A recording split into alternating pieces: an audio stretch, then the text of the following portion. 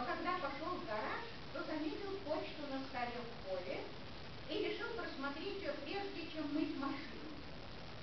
Я положил ключи от машины на стол, просмотрел почту, заметил в счета на оплату и хотел бросить надоевшую рекламу, которая была на почте, мусорный бачок под столом, но бачок оказался полным.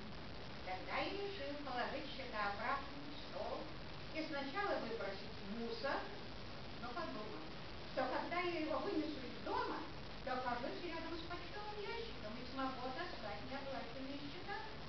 Поэтому я взял со стола чековую книжку, но там оказался только один пустой чек. Дополнительные чеки лежали в моем письменном столе, и я пошел туда. Но на столе я нашел бутылку Кока-Колы, которую я не допил. Я собрался поискать чеки, но сначала мне надо было поставить куда-то подальше эту бутылку, чтобы случайно не сбить ее со стола. Была теплой, и я решил поставить ее в холодильник. Когда я зашел на кухню, то заметил, что на полке стоит ваза с цветами, которые